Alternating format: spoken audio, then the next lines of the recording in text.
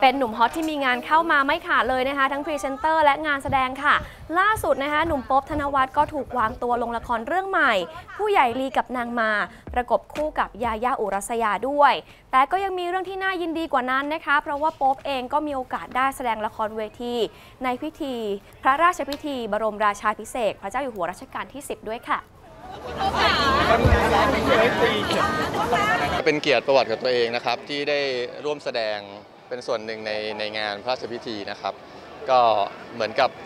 เราก็ภูมิใจอะครับ แต่ตอนนี้ก็ยังไม่ได้ซ้อมก็มีแต่คนแบบส่งมาแสดงความยินดี ผมก็โอ้เป็นเกียรติประวัติจริง ๆ ตอนแรกติดต่อมาคนเดียวแล้วก็มาบอกว่าเอ่อมีเบลล่าด้วย ผมก็เลยเออก็มีเพื่อนคนหนึงก็ค่อยใจชื้นหน่อยก็เขาก็เอ่อเหมือนกับให้ให้เป็นคู่กันนะครับ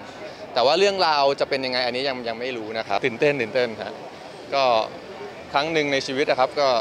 ได้ทำอะไร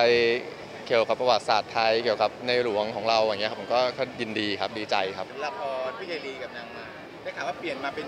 ยาย่าไอเบลล่าเอออันนี้ผมไม่ทราบเหมือนกันนะ เพราะว่า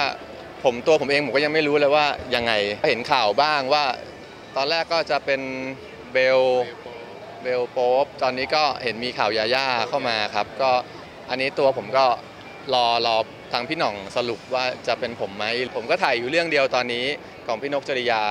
ก็เลยแบบ แล้วก็ไม่ได้รับงานอะไรเยอะแยะก็ทำงานแบบใช้ชีวิตแบบง่ายๆ สบายๆ ก็เลยถ้ามีอีกเรื่องหนึ่งเข้ามาก็น่าจะจัดคิวได้ เล่นกับยาย่าตั้งแต่ยาย่ายังเด็ก ๆ อยู่เลยอะฮะ เออตั้งแต่ยาย่ายังเด็กๆ ตอนนี้ก็ยังเด็กอยู่ ก็เด็กในสายตาผมอยู่แหละ แต่เขาก็เป็นสาวแล้วก็สวยขึ้นอะไรอย่างนี้ครับ ก็ ก็ก็โอเคนะครับ ถ้าได้ร่วมงานกับยาย่าก็น้องเป็นเด็กที่น่ารักแล้วเจอผมทีไรก็ทักทายมีแบบแบบทักทายกันตลอด หนังก็มีคุยอยู่ แต่ว่าก็ไม่รู้ว่ายังจะยังไงอยากเล่นหนังมาก ก็เพราะเราก็เริ่มมาจากหนังจริง ๆ แล้วครับ ก็หายไปนานเหมือนกันครับก็ก็พอเขาติดต่อมาผมก็จริง ๆ ติดต่อมาตลอดนะครับตั้งแต่อยู่ช่องสามมา แต่ว่าบางทีคิวไม่ได้บทไม่ได้บ้างอะไรอย่างเงี้ยก็หลาย ๆ อย่างก็เลยไม่ได้เล่นสักที